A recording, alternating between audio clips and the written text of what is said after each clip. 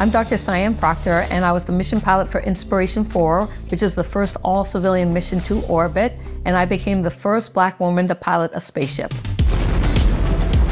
Space is important to people here on Earth because when we solve for space, we are solving for Earth.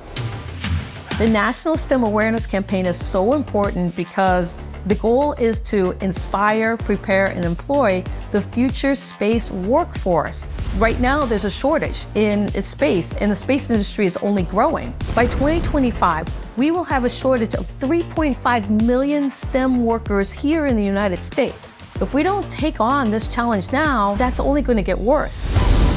Space for All means to me that we will actively strive for what I like to call a Jedi space, just, equitable, diverse, and inclusive space for all of humanity.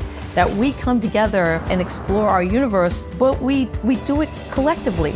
The Space for All Awareness campaign aims to inspire, prepare, and employ future STEM workers with industry working together with the government and space champions, including local museums and non-governmental organizations across the country, we can make a real difference in the lives of underserved communities. Space is not just for astronauts, it's for everyone. For scientists, for artists, dreamers, inventors, there is a place for all of us in space. It's all about space for all.